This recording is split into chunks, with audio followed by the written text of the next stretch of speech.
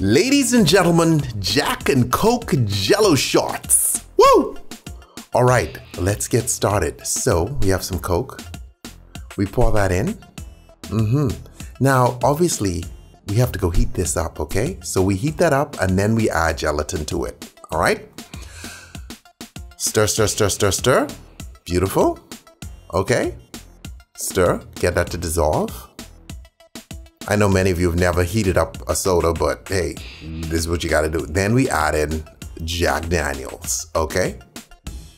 So it's a new twist on it. All you Jack and Coke lovers out there, take it in a different direction.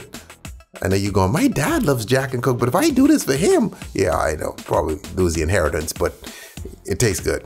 Okay, so we pour this in. Beautiful, beautiful, beautiful. All right. Now we put that in the fridge to harden, okay? Bring it back out. Can't just leave it like that. We have to garnish. That's right. You put a little cherry on top. I know guys go, I don't want a cherry in my Jack and Coke, homeboy. It's Jello shots. Chill, okay? Chill. Okay? Experience new things. Take your mind in a new direction.